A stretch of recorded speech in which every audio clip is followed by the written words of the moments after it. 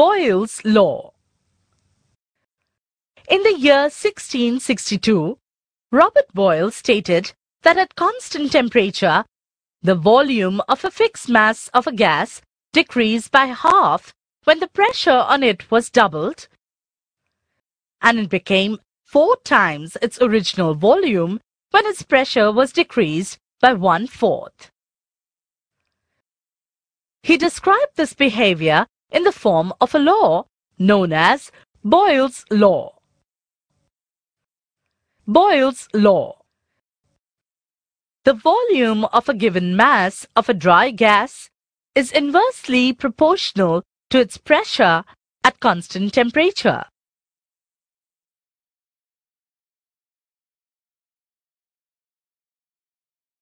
Mathematical expression of Boyle's law. Suppose a gas occupies a volume V1 when its pressure is P1, then V1 is inversely proportional to P1 or V1 is equal to K upon P1 or P1 V1 is equal to K which is equal to a constant. If V2 is the volume occupied when the pressure is P2 at the same temperature, then V2 is inversely proportional to P2 or V2 is equal to K upon P2 or P2 V2 is equal to K is equal to constant. Therefore, P1 V1 is equal to P2 V2 is equal to K at constant temperature. This is called Boyle's law equation. Boyle's law may also be stated as the product of the volume and pressure of a given mass of a dry gas at a constant temperature is constant.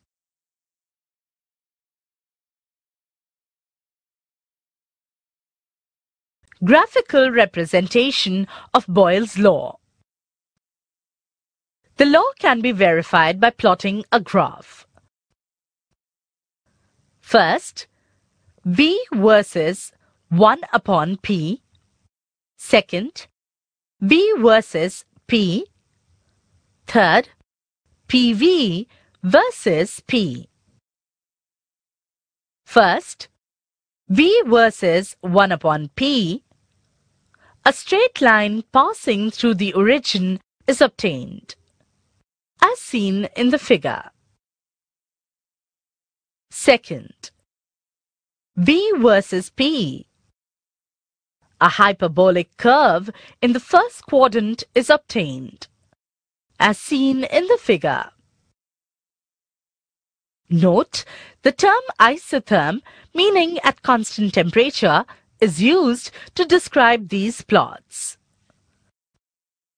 Third, PV versus P. A straight line is obtained parallel to the pressure axis, as seen in the figure.